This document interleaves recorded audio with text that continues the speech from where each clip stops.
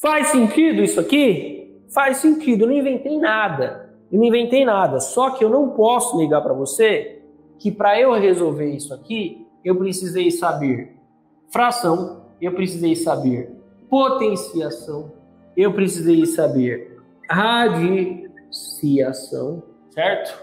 Equação de primeiro grau. Bom, basicamente isso. Se eu não souber qualquer um desses itens aqui, eu travo em algum momento. E é por isso que eu falo da caixinha de ferramenta. Lá, a base matemática é essa caixinha de ferramenta. Tudo isso está lá no seu cérebro lá. Preciso trabalhar com, essa, com esse camarada aqui. Passa esse 9 elevado a menos 2 para cima. Busquei lá a potenciação. Preciso mudar a base. 3, 9 virou 3 ao quadrado. Depois elevei a outro expoente, potenciação. Transformei a resolvi a raiz, radiciação. Caí numa equação de primeiro grau, equação. Então, tudo isso tem que estar lá na sua caixinha de ferramenta, para a hora que você precisar, você consultar. É por isso que a maioria dos cursos para concurso, cursos de matemática, é, para concurso, a parte de matemática é, é péssima. O pessoal vai muito mal, não consegue entender. Por quê? Porque o aluno ele já vai começar a aprender o, aprender o assunto, aprendendo o assunto, resolvendo exercício de concurso. Aí ele vai lá